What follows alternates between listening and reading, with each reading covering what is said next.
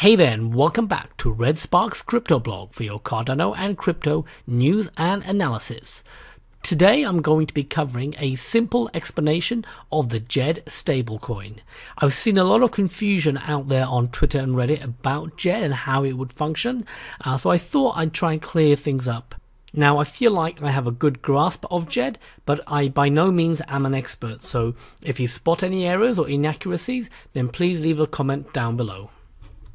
Those of you who have used DEXs will be familiar with the concept of a liquidity pool. So I'm going to start off by making a bold claim that Djed is just like a liquidity pool in which one side, the left hand side of this diagram, is forced to buy and sell Djed at a fixed price. And we'll see what I mean by that in just a second, but just keep that in mind. Okay, so here we have two parties. On the left hand side, we have uh, investors looking to fund the Djed contract. So you can think of them as actually as liquidity providers. And then on the right hand side, you've got ordinary people like you and me who want to swap, swap our ADA and get a Djed stablecoin in return. Now, initially, COTI had said that the left hand side would only be available to accredited investors, i.e., rich people. Um, but they subsequently backed away from that and recently announced that anybody can be a liquidity provider, just like anybody can be on the right hand side and be a uh, stablecoin holder. Um, so you can take any side of this transaction, but for the purposes of this presentation, I'm going to refer to the left hand side as the liquidity providers and the right hand side as stablecoin holders, which are more likely to be people like you and me. Now, Djed is a stablecoin, and we'll come on to what that means in just a second. But let's just start off with how this contract is initially funded. So you've got your liquidity providers on the left hand side, and they throw in ADA into the Djed contract. And in return for throwing in ADA, they get back a Shen token. Now, this isn't the official logo for the Shen token. I don't think there is one. But Shen always reminds me of Shenron, the legendary dragon from Dragon Ball Z. So I'm just using that as a logo here. Now, Shen represents a claim on a portion of what's in the Djed contract. So it's a little bit like being a shareholder. You get to claim a certain percentage of what's in the Djed contract. And the more Shen tokens that are given out, i.e., the more liquidity providers are coming in, the more the value of your individual Shen token is diluted. So you get a smaller share of the Djed pie, so to speak. Now, there are mechanisms in place to control that, but given that I want to keep this video simple, I'm not going to go into that. Okay, on the right hand side, you have your stablecoin holders. So, so these are people that hold ADA, but they actually want to trade it for a stablecoin that is pegged to one US dollar. So they'll come along and they will put in their ADA, and in return, they're going to get a Djed token that is worth one US dollars. Now, the way that works is if at a later point in time they come back to the Djed contract they should always be able to exchange that Djed token for one US dollars worth of ADA. So there's two important things there. One is always be able to exchange it. So the Djed contract has to guarantee it. Um, otherwise, people would lose faith in the Djed contract. So how do you have a contract where people are confident they can always redeem their token and, and get back one dollar's worth of ADA? That is an important point of an algorithmic stablecoin. And the second bit is $1 worth. So you're not getting back an actual dollar, an actual US dollar. You're getting back however many ADA tokens makes up one US dollar. So if ADA was worth one dollar on the day that you're redeeming it, then you're going to get back one ADA. If ADA was worth two dollars on the day that you're redeeming your Djed token, you're going to get back 0.5 ADA. And if ADA plummeted to 0.5 US dollars, so it decreased in price, um, then on the day that you're redeeming it, you're going to get back 2 ADA, 0.5 times 2. So you see how the price of ADA governs just how much ADA you get back but the Djed contract has to give you that assurance that you're always going to get back enough ADA to make up one US dollar, regardless of how much ADA you put in 10 days ago, a year ago, and so on. Or I should say, regardless of the price that ADA was at at the point that you exchanged it for the Djed tokens. So, how does a Djed contract make that guarantee? Well, that's where the liquidity providers come in, and that's why you have the liquidity providers providing their ADA. They're saying, here's, I don't know, a million dollars worth of ADA, and I'm coming along on the right hand side and I'm changing my $20 worth of ADA and I'm getting back stable coins.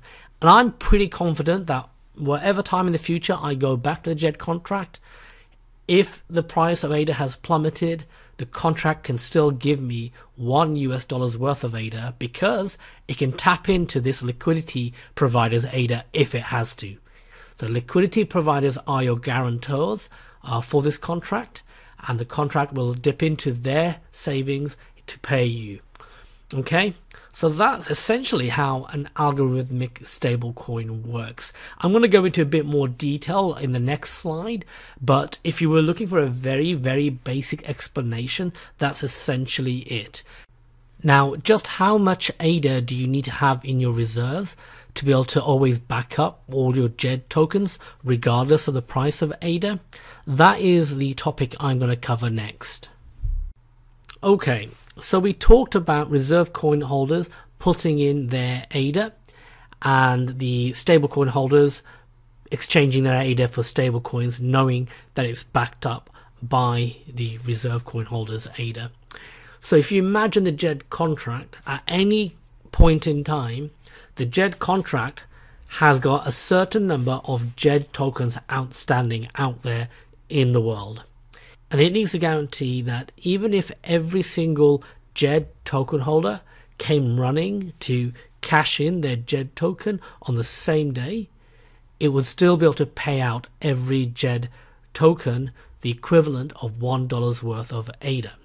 So that payout is what's known as its liabilities and that liability will change over time depending on the price of ADA, depending on just how valuable the ADA is collected in its treasure box is. If the stablecoin, if the people on the right hand side came along and they swapped their ADA for stable coins, and then two months later, when they came back again, the price of ADA had quadrupled then the treasure box, known as the Djed contract, would find it very easy to pay them out and it would still have a lot of ADA remaining. In other words, the Djed contract has actually made a profit as a result of these uh, stablecoin holders who didn't want to take the risk of holding ADA because they were worried about the price going up and down. They were getting a bit scared. So they came along and they gave the ADA to the treasure box. The treasure box said, Don't you worry about it. I'll hold on to it. I'll give you one dollar's worth, uh, or I'll give you a stable coin known as Djed, and I'll hold on to your valuable ADA. And now they've come back two months later saying, wait a minute, the price of ADA has gone up to two dollars. Well, the treasure box will say, well, here's your one dollar's worth of ADA. Okay, I'm keeping the rest. That's how the Djed contract will then make money. And that leftover amount, that of money, the profit that it's made, is what's known as equity. So that's what we've got on the left hand side here the liabilities and equity. So at any given moment in time, there will be this concept of here's how much liabilities there are, how much that would have to be paid out if every single Djed stablecoin holder came running at, on the same day, and here's what's left over the equity. And that might be in profit if ADA's gone up, or it might be at a loss uh, for the reserve coin holders if ADA's gone down. Remember that the reserve coin holders get a claim on whatever is in the equity portion of this treasure chest. So they're like the shareholders. So that equity will be divided if all of the reserve coin holders came running uh, on the same day as well. The Djed contract would pay out the liabilities to the stable coin holders. That's done. That's out the way.